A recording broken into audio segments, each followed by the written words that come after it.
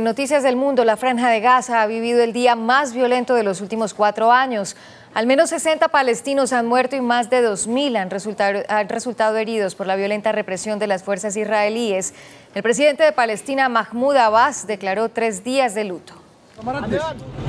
Los palestinos han emprendido una nueva jornada de protesta por la matanza que se presentó en la franja de Gaza, que se convirtió en escenario de un baño de sangre tras la represión de las fuerzas israelíes que han disparado y lanzado gases lacrimógenos en contra de los palestinos que protestaron por la apertura de la embajada de Estados Unidos en Jerusalén. We're here to say that this Israeli oppression will not break our will or our popular resistance. Según los médicos, los hospitales ya no dan abasto por los más de 2.700 heridos que ha dejado esta ola de violencia y que ha sido condenada por la Unión Europea, Rusia y Turquía, que expulsó temporalmente al embajador de Israel. Además, la ONU ha denunciado esta masacre. Again, we call for independent, transparent investigations into all cases of death and injury since the 30th of March.